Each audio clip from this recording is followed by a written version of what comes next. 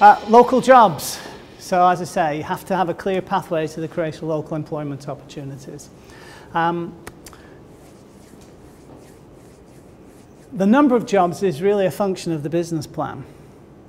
In my experience, if you can sell to the immigration department that you'll create your first job sometime in the application consideration window, which is six months typically, takes the immigration department to finalise his applications.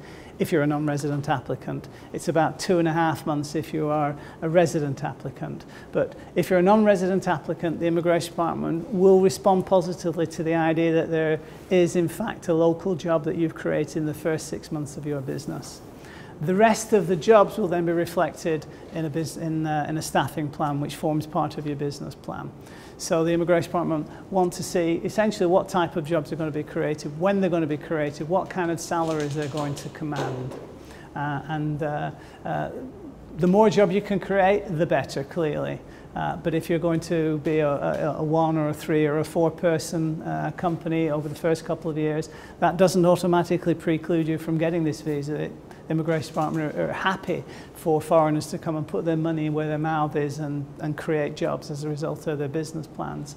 Um, but yeah, you absolutely have to have local jobs as part and parcel of your, uh, of your application mix.